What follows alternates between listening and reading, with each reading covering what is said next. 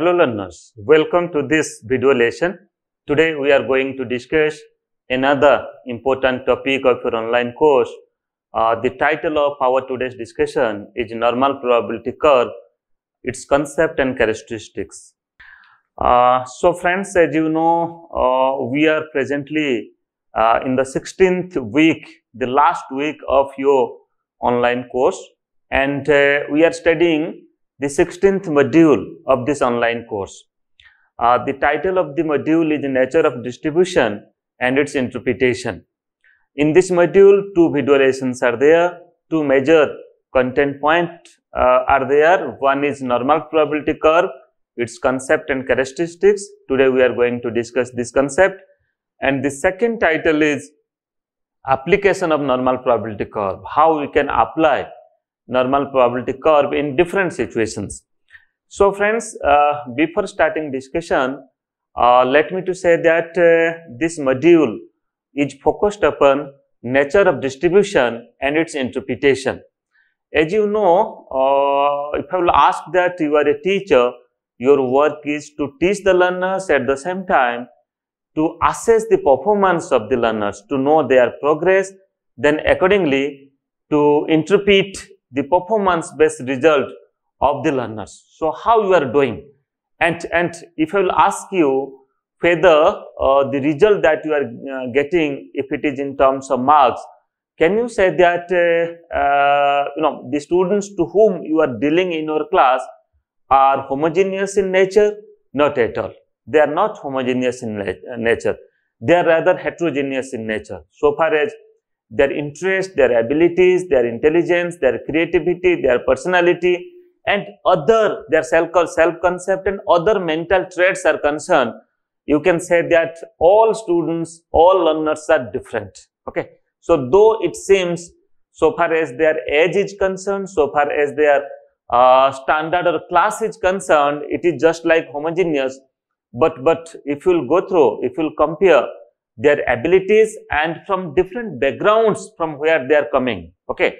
From different diverse background, from different social backgrounds from where they are coming. And at the same time, uh, uh, from different mental trait, we can say that, uh, you know, the group is not at all, uh, you know, a, a, a, homogeneous group. Rather, uh, it is definitely a heterogeneous group. And friends, when we say that the group is heterogeneous, then definitely we should find out whether the group is a normal group or not, or not. Okay.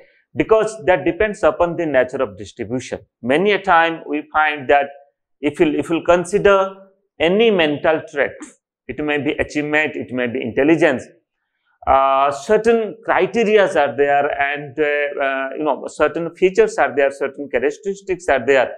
Basing upon the characteristics, you can say that the group is a normal group or quite often a time you will find that the group is also not normal. Okay. So, that is why keeping in consideration of such type of interpretation about the group, about the nature of distribution of the performance of the learners in your class, we are focusing upon uh, you know two different concepts to understand what is a normal distribution, what is a normal probability curve and how can the concept of normal probability curve be used in the teaching learning process for analyzing and interpreting the result of the students. Let us go forward. Uh, today in this topic, uh, we have certain learning outcomes and uh, I am very much hopeful that after going through this video lesson, at the same time, after going through the part content of this module, you will be able to explain the concept of normal distribution and normal probability curve. And further, you will be able to discuss the need of a normal distribution and you will be able to explain the characteristics of a normal, normal probability curve. To whom or to what type of curve we can say that it is a normal curve and what are the features and characteristics of that normality that also we will discuss and further you will be able to illustrate various divergence in the normal curve. I was just talking, uh, talking earlier that how a curve or how a distribution is deviate from normality and when a distribution is deviate from normality then what type of distribution it is. So that's why this is also another learning outcome of today's video lesson. And further, another learning outcome is you will be able to discuss the significance of skewness and kurtosis in the educational measurement and evaluation. So I was talking about the divergence from the normality.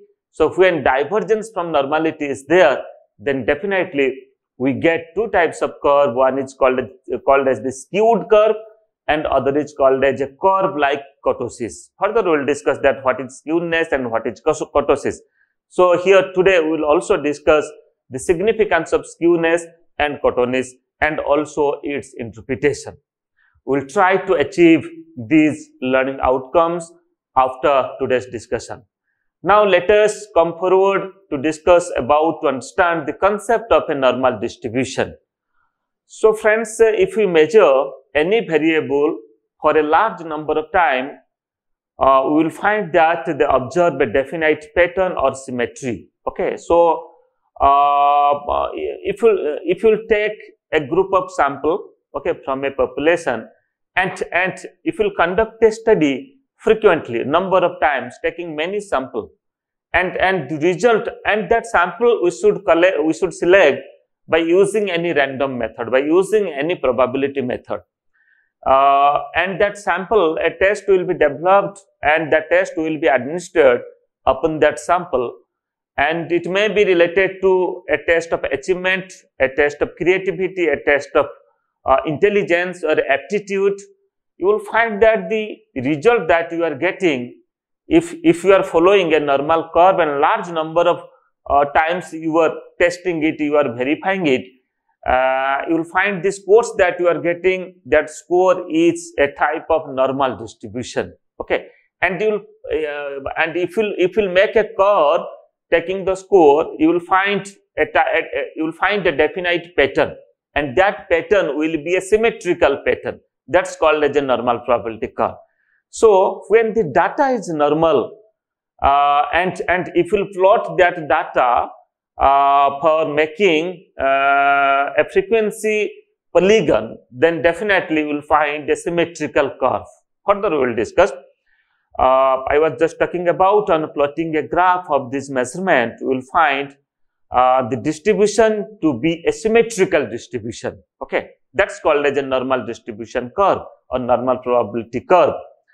Uh, such distributions which are perfectly symmetrical and follow the laws of nature are called normal distribution. That is in which the left half is a mirror image of the right half. Means the curve that you will get, uh, if you compare the left curve, left side curve and the right side curve, you can say that uh, uh, it is exactly two half of the normal distribution or of the normal normal probability curve. And again, uh, mean median and if uh, it is a, a unimodal class, mean median and mode have the same value if it is a normal distribution, if it is a normal probability curve. So, the value of mean, median and mode will be same. Just like you see now on your screen, uh, I have taken one example of normal distribution. Uh, in the first column, class interval is given and in the second column, certain tally marks are there, means how many students or how many subjects are there in each class. And, and in column 3, in the third column, frequencies are uh, mentioned. Total number of frequencies are 150. So, taking 150 students or 50 subjects here, basing upon their score, uh, class interval, certain groups, this has been arranged. This has, uh, this has been developed in certain class, class intervals and frequencies are tally marked also. And here you see mostly this is a type of symmetrical curve because the highest score is here 1 you see in the top extreme and at the bottom extreme uh, here also the number of frequencies 1.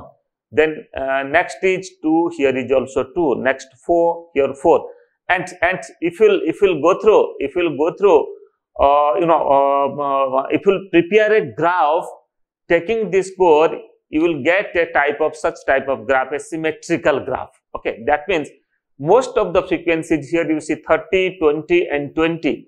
Most of the frequencies it falls at the middle of the uh, graph and, and slowly there is a curve in both the directions. At the positive direction that is at the right side and at the negative direction that is at the left side. So, uh, if the data is a normal distribution then the curve you will get such type of curve. You can see on your screen now uh, uh, this is a figure, this is a graph. The frequencies y-axis are the frequencies and x-axis uh, you know the class intervals or the scores are presented in the x-axis and you, see the middle the middle portions there is a peak at the middle portion and and you will you, you will find a type of this type of a symmetrical curve this is called as a normal probability curve uh, to understand more about the characteristics of a normal probability curve, let me to say that uh, a normal curve is a symmetrical curve. Okay, uh, the normal distribution curve is a symmetrical curve around the mean. That is, if you draw a curve with mean as a variant, then the number of cases above the mean value and number of cases below the mean value, uh, value will be equal. That means when you will calculate if it is a symmetrical distribution, a normal distribution and symmetrical curve, and if you calculate the mean value, you will find that number of observations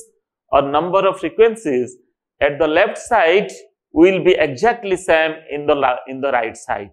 Okay, so that's because because this is a normal distribution. That that means the mean, median, and mode will fall at the middle point, at the middle portion of the distribution. And, and if you draw a perpendicular line from the highest peak of the symmetrical curve to the baseline, you will find that uh, the perpendicular line will equally divide the area of the curve into two equal halves. Okay, so that's why that's why uh, the mean value of the distribution will equally divide uh, uh, the distribution into two parts.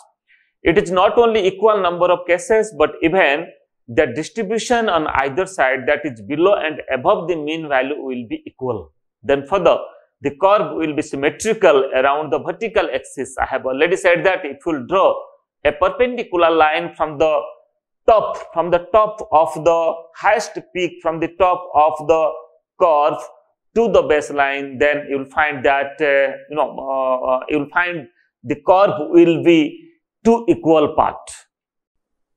It implies that the side shape and slope of the curve on one side of the curve is identical to the other side. So here you see I'm just focusing upon the size, shape as well as the slopeness, the slope of the curve. So you'll find that exactly the slope, the extent of slope in both the sides, both in both at the right side as well as at the left side, you will find that equally this is sloped and the shape and size is also equal.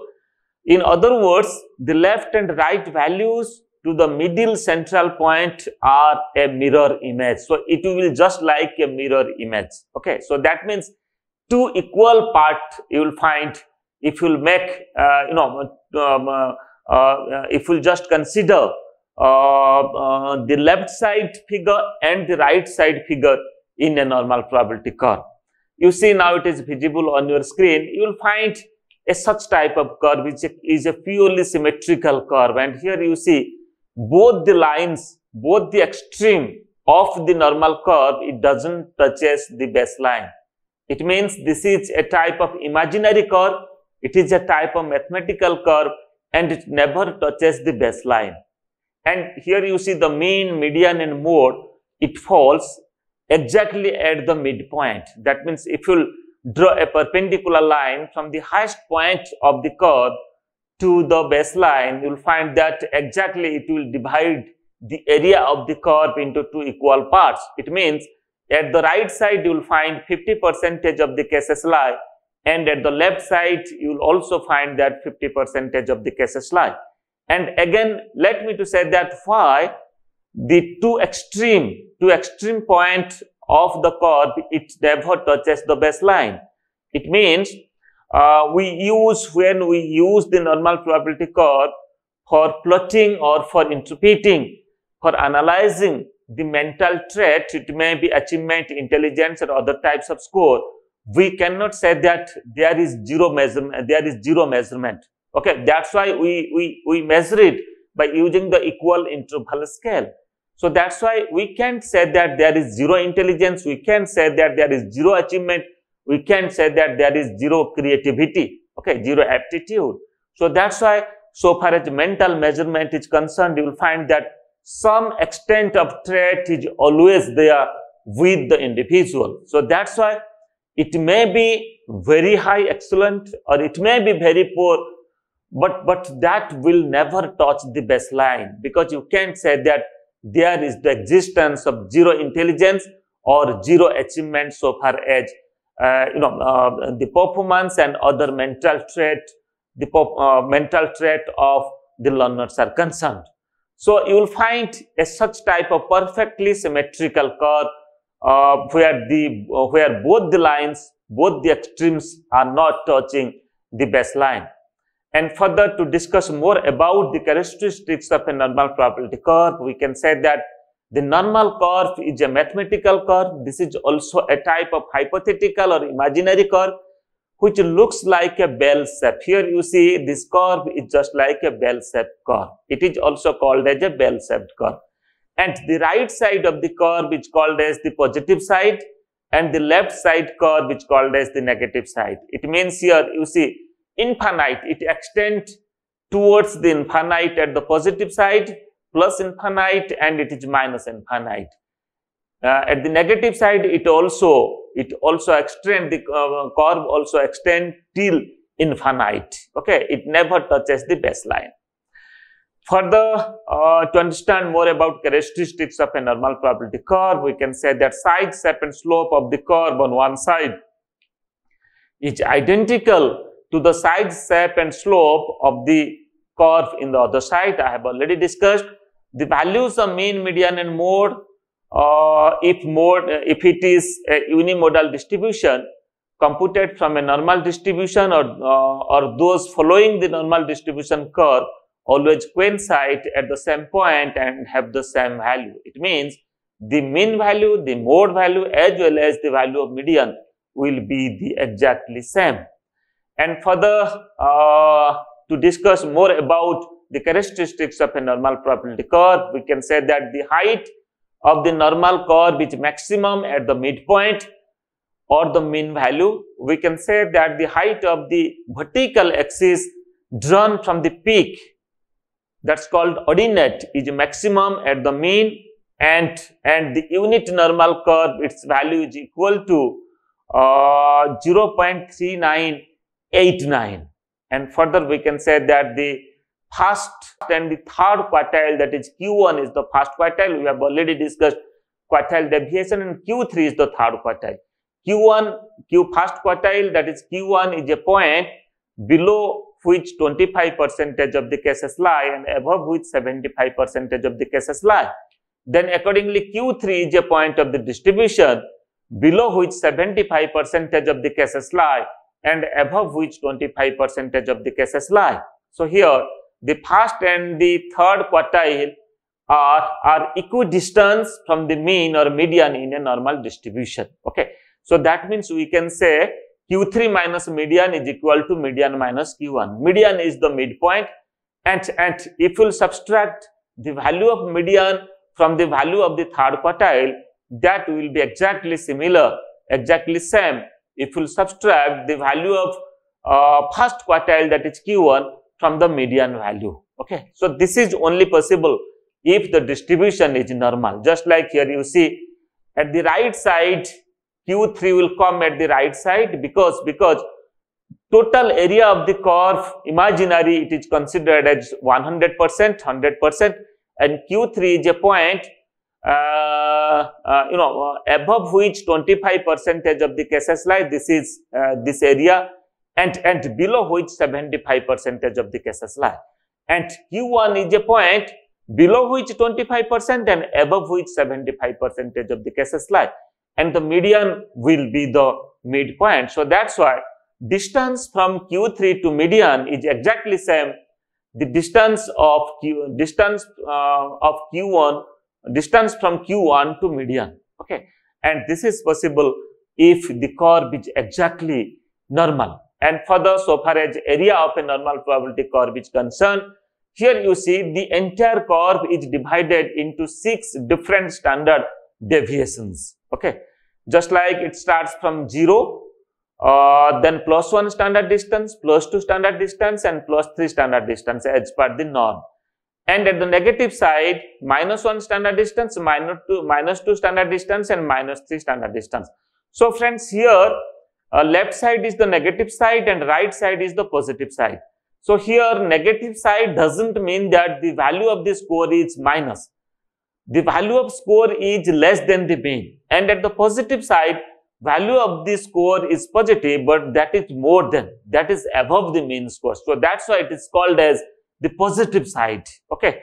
So here you see uh, the entire area of the curve is divided into six different standard uh, deviations and beyond plus 3 standard distance and uh, uh you know beyond minus 3 standard distance you will find that some areas are left because I have already said that uh, you know, the, the two extreme line of the curve, it never touches the baseline. And you'll find that most of the scores, because highest peak is at the center, so most of the frequencies, it falls in between plus 1 to minus 1 standard distance. Okay. And then after you will find that the frequencies are slowly, slowly reducing both at the positive side as well as the negative side. Now let us try to understand uh, the area of a normal probability curve in percentage. I have already said that the total area of the curve is 100 percentage and, and you see in this curve, if you observe minutely, this curve is divided into six different standard deviations. It's from the middle, it starts from 0 and, and you see from 0 to plus 1 standard distance and from 0 to minus 1 standard distance you will find 34.13 percentage of the cases lie. Both 0 to plus 1 30, 34.13 percentage and 0 from 0 to minus 1 standard distance is also 34.13 percentage of the cases. Then again from plus 1 to plus 2 13.59 then minus 1 to minus 2 standard distance that is also 13.59 and from plus 2 standard distance to plus 3 standard distance 2.15 and minus 2 standard distance to minus 3 standard distance is also again 2.15 percent. And in both the extreme at positive extreme beyond plus 3 standard distance that is 0.13 percentage of the cases lie and less than minus 3 standard distance again 0.13 percentage cases lies. So that means if I will say that uh, in between plus 3 standard distance to minus 3 standard distance, you will find 99.774 percentage of the cases lie. And beyond plus 3, less than minus 3 standard distance, only 0.26 percentage of the cases lie. It's, it's, it's very negligible, but it will never zero. And for the between plus 2 standard distance to minus 2 standard distance, you will find 99.44 percentage of the cases lie and between plus 1 to minus 1 you will find that 68.26 percentage of the cases lie.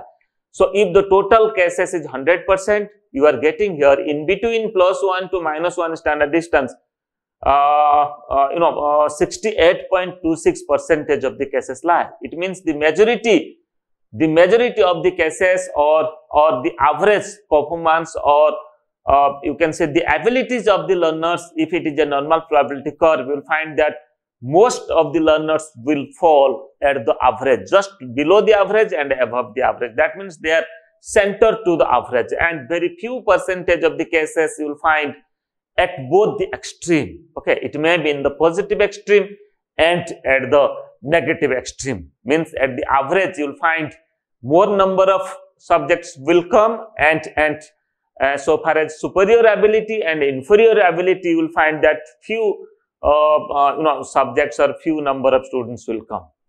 Friends, now let us focus upon, after discussing the characteristics of a normal probability curve uh, and also its areas, the importance of normal probability curve in teaching learning process in assessing result of the students are just like number of evidences are accumulated to show that uh, normal distribution provides a good fit or, or describe the frequencies of occurrence of many variable and facts such as biological statistics if we observe the sex ratio in births in a country over a number of years you will find that uh, the data will support just like the normal probability curve. The distribution will normal and and so far as anthropometrical data is concerned and if we plot uh, if we consider and analyze if we interpret the data relating to height and weight of individual of the population, you will also find that the distribution is somehow normal. And further, the waste and output of large number of workers in the same occupation under uh, comparable condition, you will find also it is a type of or it will create a type of normal distribution. And for the psychological measurement is concerned just like intelligence, achievement, adjustment, uh, anxiety, self-concept, creativity, aptitude and other uh, mental traits are concerned, psychological uh, variables are concerned, you will find that you know, uh, the score that you will get that is a type of normal distribution. So, so for analyzing such type of data, we should understand the concept of normal distribution and how can we interpret it. And further, the normal distribution is of great value in educational evaluation, mental measurement. Okay. And for the normal distribution is not an actual distribution.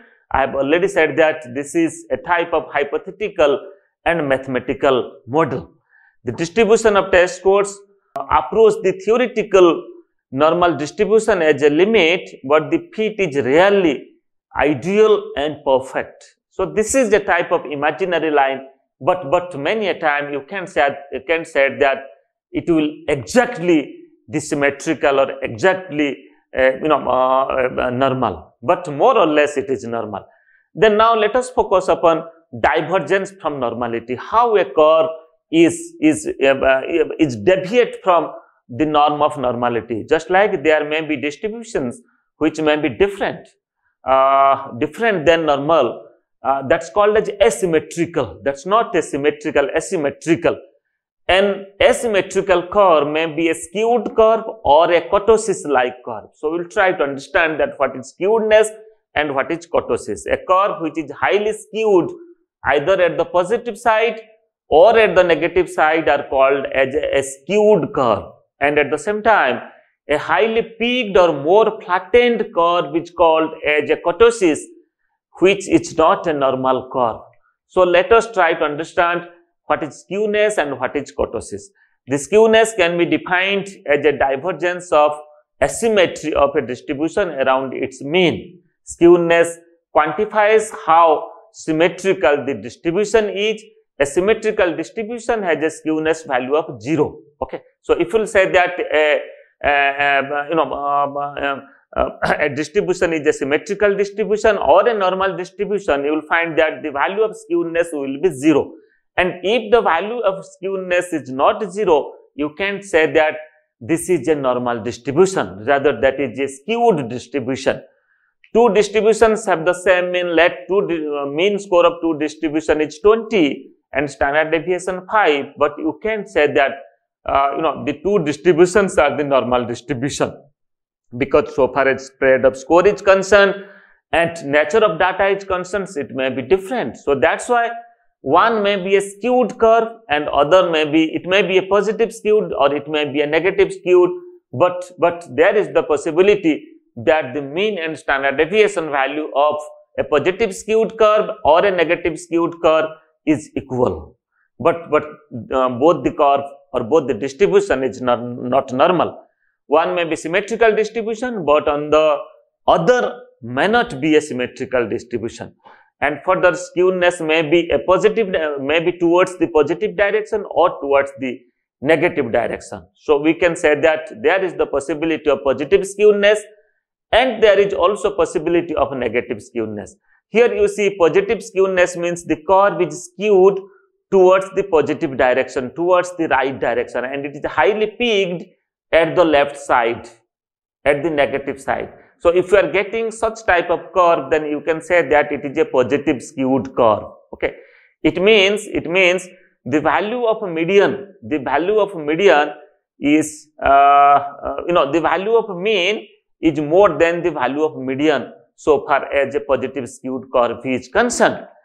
And again, in a negative skewness, uh, you will find such type of curve just like here you see, uh, uh, you know, uh, uh, the curve is skewed towards the negative direction, highly skewed towards the left side, that means the negative direction. And here you can say the value of mean is more than the median. Okay. And two types of curve uh, there is the possibility to get two types of curve. One is the positive skewed curve and other is called as the negative skewed curve. And now let us focus upon kurtosis. So here kurtosis means there may be three types of curve um, uh, uh, that may not be a, in three types of curve, many a time you will find that the curve is not a normal curve. So what are the different three types of curve? One is called as a leptokurtic, other is called as a platykurtic and the third is called as a mesokurtic. A leptokurtic curve that means which is more peaked curve than normal and a platykurtic curve which is more flattened curve than normal and a mesokurtic curve which is moderately peaked and not highly flattened. Okay, a moderate curve is always called as a mesokurtic curve and that is the normal distribution and that is the normal probability curve. But a leptokurtic and a platykurtic is not a normal distribution curve. Just like now let us try to understand with this uh, figure here you see the middle curve which is moderately peaked and not more flattened that's called as a mesokurtic is a normal curve and the value of a mesokurtic and normal uh, probability curve uh, is 0.263 it is the high the height is 0.263 but a leptokurtic curve is highly peaked than normality and a platykurtic curve is more flattened than the normality.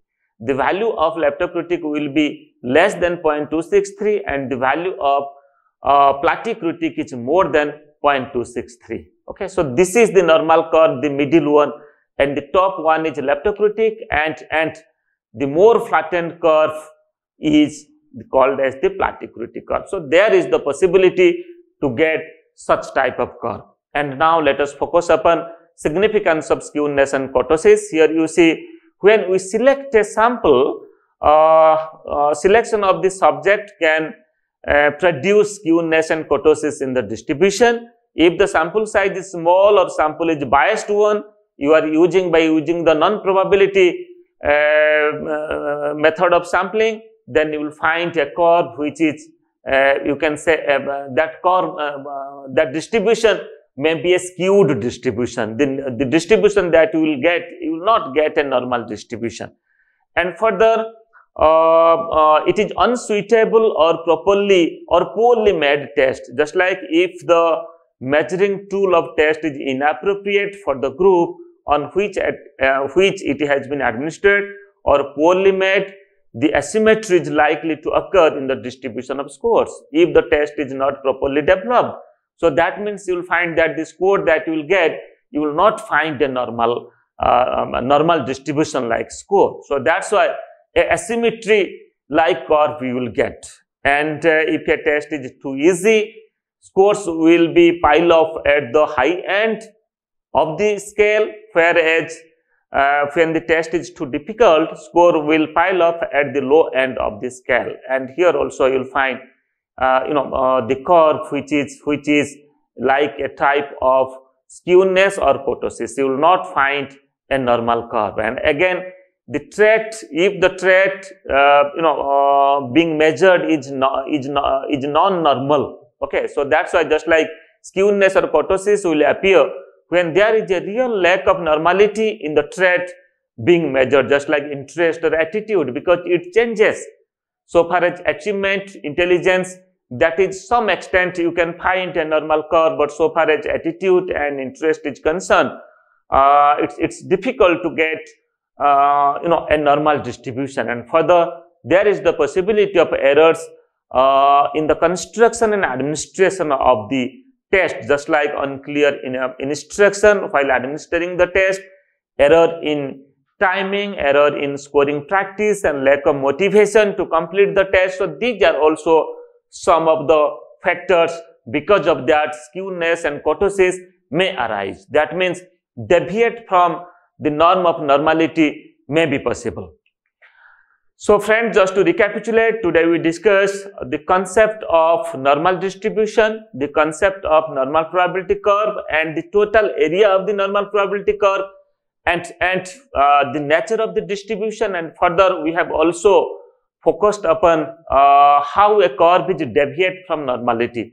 In terms of kurtosis, in terms of skewness, we have developed, we have discussed, you know, we have compared it uh, with the normal probability curve and also we have discussed about the need of a normal distribution, the importance of a normal distribution and, and the significance of this course of uh, significance of uh, a skewed like curve or a kurtosis like curve and what are the uh, situations that when we get such type of curve.